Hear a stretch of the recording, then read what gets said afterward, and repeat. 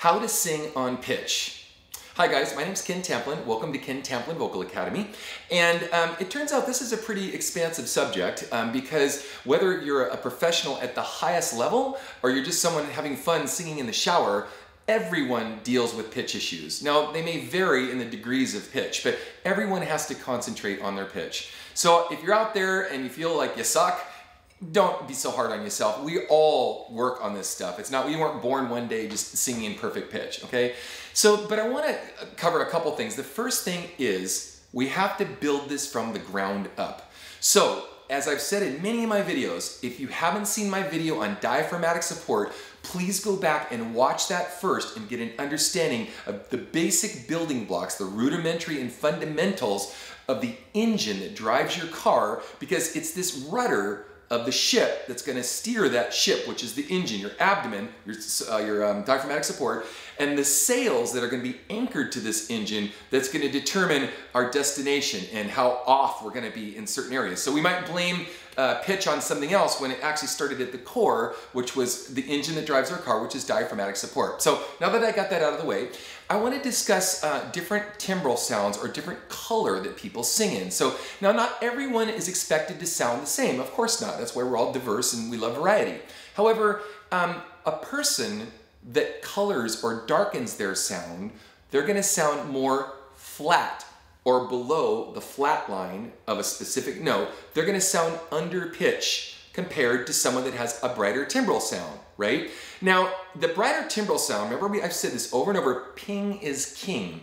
You really want that bright, it's the la, ah, ah, ah, bright sound, because that bright sound, if we develop it correctly, is the most transparent sound that we could have in leaving us naked in December's snow and seeing the transparency of pitch. So if the sound is colored or covered or darkened, it's easier to kind of muddle your way through and you can't quite hear, you can't really tell the exactness or preciseness of the pitch. Whereas if it's a bright timbral sound, you can.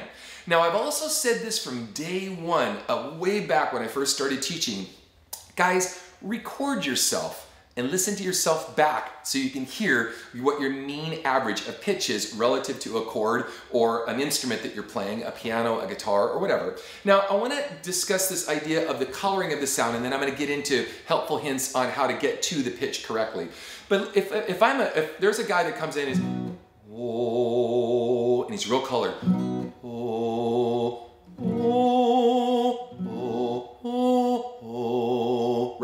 There's a big difference in that guy compared to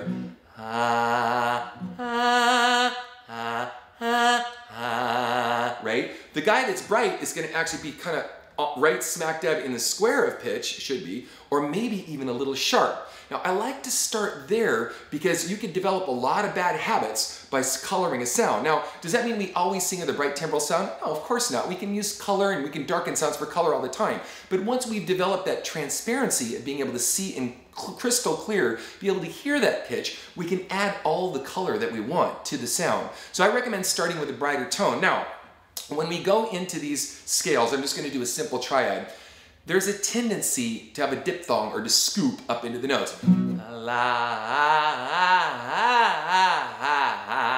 And that's just fishtailing, creating a really bad habit. We really want to get the exactness of the pitch, so we want to go.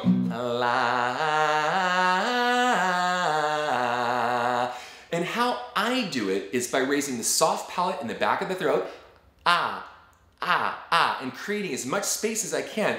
I come in from behind the note and I drop down on the note instead of pushing up to the note, which has a tendency psychologically to um, hurt confidence and to think of always pushing, always arduously going up to a note. No, I want to come in from behind the note. So it's kind of funny. When I think of coming down off of a scale, have you ever taken a slinky and you take the slinky, if you use the, no, well, a slinky is, it's kind of like a coil that the children played with. It goes shh, shh, shh, right? I think of taking a slinky and letting it kind of go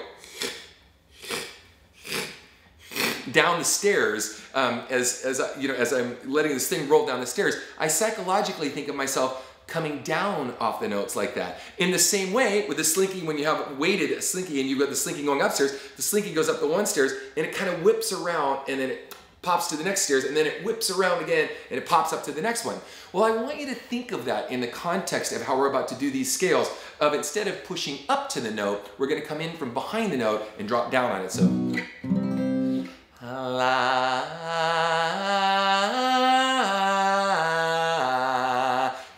going la and straining in the sound. I'm coming in from behind and dropping down.